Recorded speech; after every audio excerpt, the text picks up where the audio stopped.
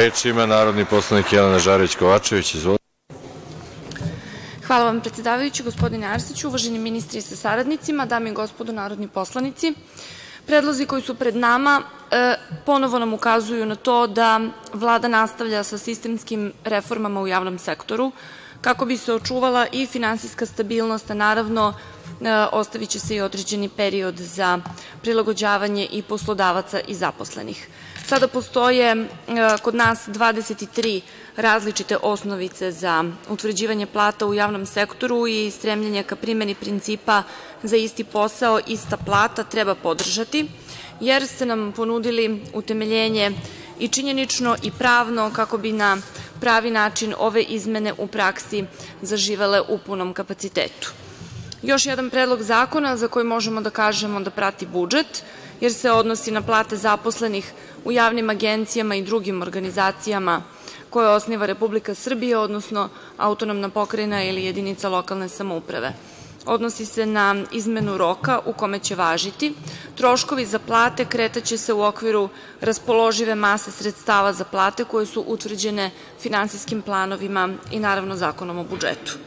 Govorili smo već o povećanju plata u javnom sektoru u rasponu od 8 do 15% i o tome kako će prosečna plata do kraja godine biti iznad 500 evra u dinarskoj protivvrednosti. Realni rast zarada u prvoj polovini godine bio je 7,3% i vođen je pre svega rastom zarada u privatnom sektoru.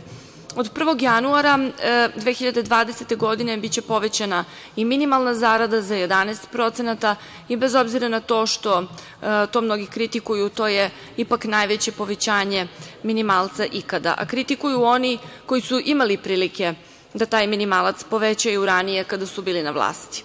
2012. godine mi kad je Srpska napredna stranka preuzela vlast mi nismo znali da li će uopšte biti para za plate, a sada ima para za redovno isplaćivanje plata, ali ima para e, i da se plate povećavaju.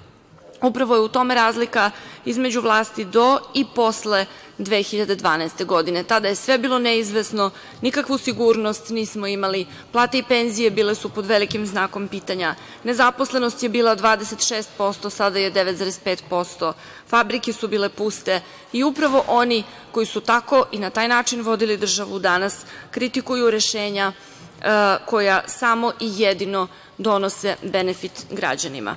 Da smo zadovoljni rezultatima, jesmo, ali je tačno da mislimo da možemo bolje i sasvim sigurno je da ćemo se truditi da tako i bude. Zahvaljujem.